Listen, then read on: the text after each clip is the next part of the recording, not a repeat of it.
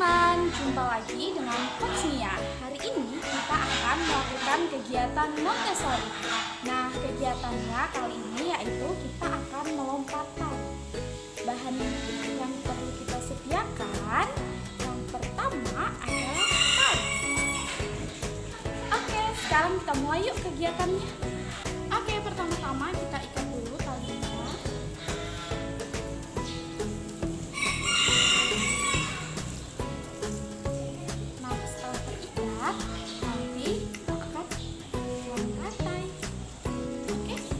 Akan melompat.